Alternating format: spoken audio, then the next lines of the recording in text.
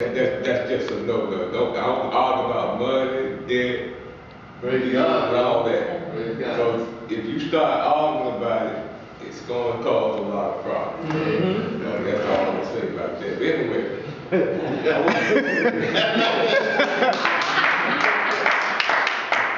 So the main thing I just wanna, you know, share with you guys is that, you know, keep your faith up, don't give up, whatever you do.